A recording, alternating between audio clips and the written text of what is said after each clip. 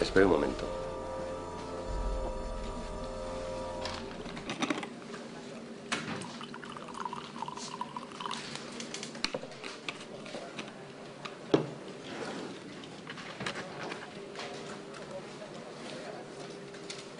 Quería darme de alta en autónomas.